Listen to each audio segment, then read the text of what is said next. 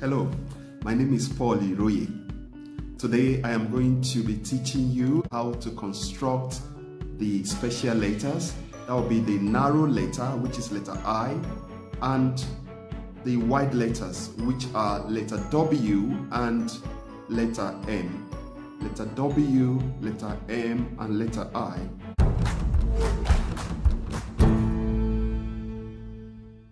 We are going to be constructing the special letters, which are the narrow letter and the wide letters. So there is only one narrow letter, which is letter I, and there are two wide letters, which are letter W and letter M. As usual, we're going to be using pencil, ruler, and eraser. These will be the materials for today. Now, as I told you also, I'm using the edges of my paper to guide me so that I can get a really straight line. For each space, I'm using two centimeters. Now, this is dependent on how big you want your letters to be.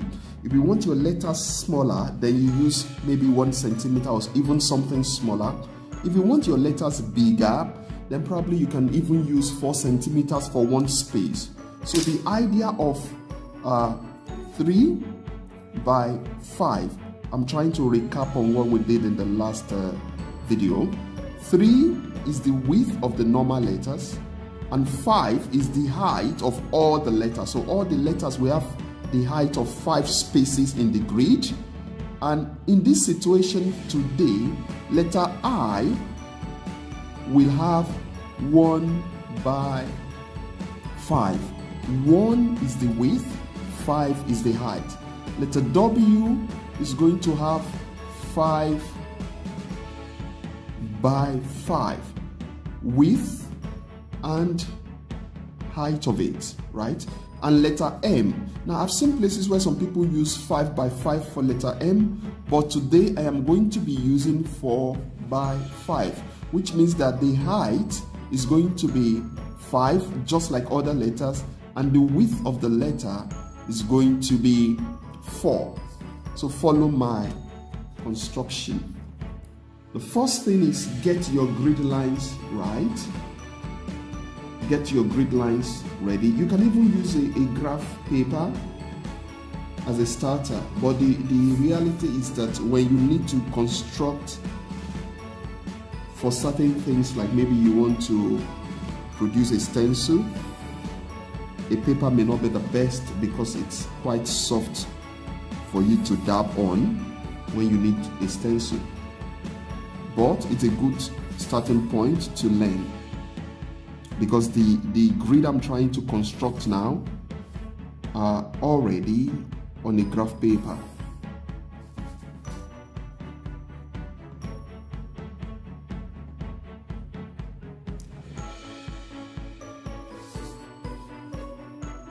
And as I said in the previous video, measurement is very important in this thing and also the idea of using ruler for straight lines. So now I'm going to put my grid down. So this is one space and this is the base of it. And I connect this together. For letter I, as I said, it's just so simple. It's actually the easiest letter. And I'm just having it now. This is my letter I. I've seen instances where people would add the people would add the extensions I don't need, I don't think it's necessary. So this is my letter I. Now I'm going to do the letter W for you. I want to leave just a space of one centimeters because I want to use, I want to be able to have more space on my paper. So I'm leaving just a space of one centimeter between these two letters. So my letter W is going to start from here. Okay.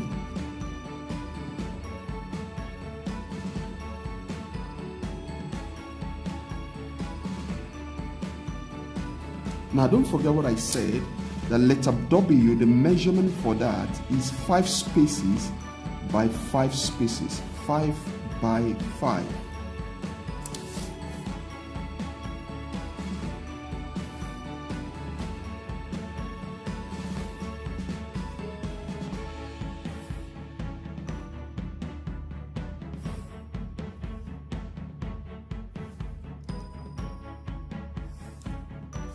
And so this is the space. One, two, three, four, five. One, two, three, four, five. Okay, now watch the angles and the corners where I am going to put my ruler. I'm picking my first line from this first line, the top angle, and drawing it to the lower base. I mean to the base of the second line.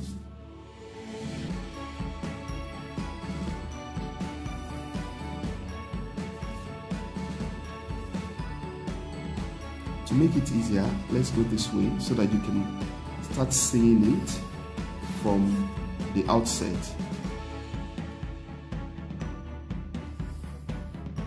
So this is my W coming out.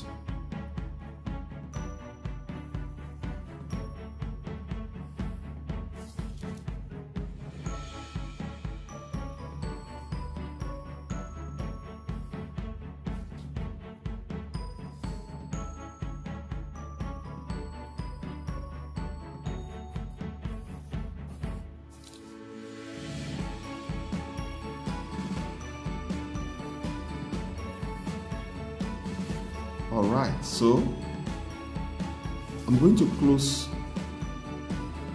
this part the lower part and also the upper part.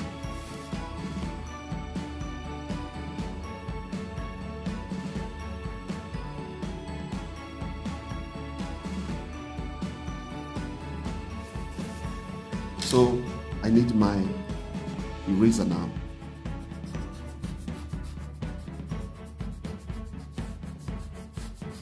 and you can see the W coming out.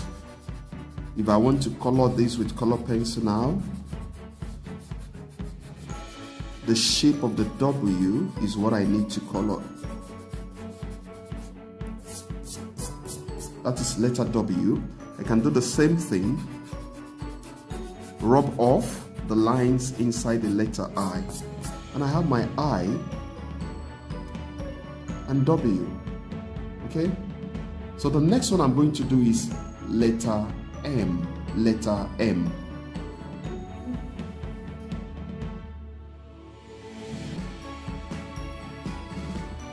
So I've got here the space I'm using for my letter M.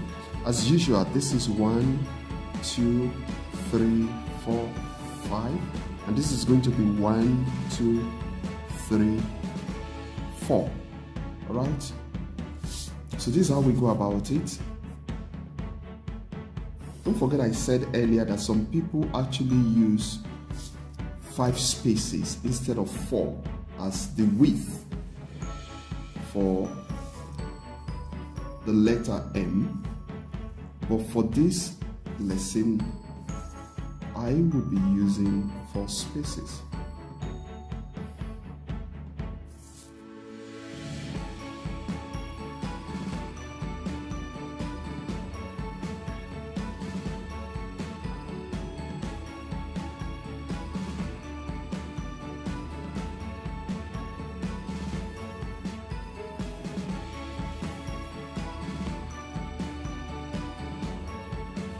You need to really observe to get it right.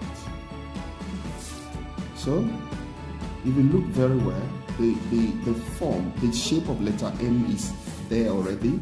All I need to do is close the bottom space and then the upper page, the, the upper space by just darkening my pencil, putting a little more pressure on the pencil to make the pencil mark darker. So I have my letter M. How do I bring it out? Rub off. rub off. Rub off gently all the lines you don't need. So today we've been able to construct letter I, letter W and letter M, all of them in block letters.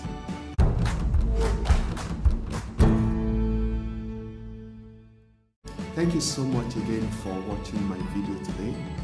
My name once again is Paul Iroye, your basic art teacher.